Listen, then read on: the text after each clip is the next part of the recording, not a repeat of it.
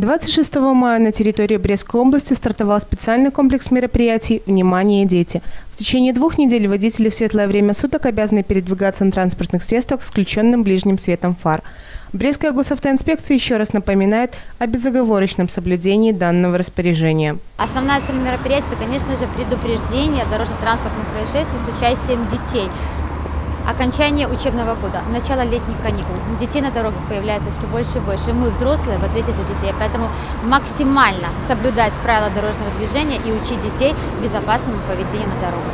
Введение данной нормы обусловлено в первую очередь соображениями безопасности. Ведь машины с включенными фарами заметнее на дорогах для всех участников дорожного движения, особенно при неблагоприятных погодных условиях. Учащихся средних школ уже не первый год принимают участие в подобных акциях и относятся к этому с полной ответственностью. Хочется как-то помочь детям, чтобы они не попадали в аварии и было больше их больше водителей были сильнее и всегда смотрели на дорогах, внимательными были. Уже участвую не первый год, получается, да, сотрудничаем с ГАИ тесно, и всегда хочется привлечь внимание водителей и, в принципе, детей тоже, чтобы они э, были максимально внимательны на дорогах. А тем более сейчас, э, перед летом, когда уже расслаблены все, когда теплеет, э, дети играют.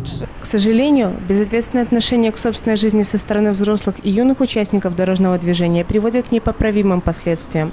С начала 2014 года на дорогах области уже произошло 24 ДТП с участием детей, в которых два ребенка погибли и 22 получили травмы различной степени тяжести.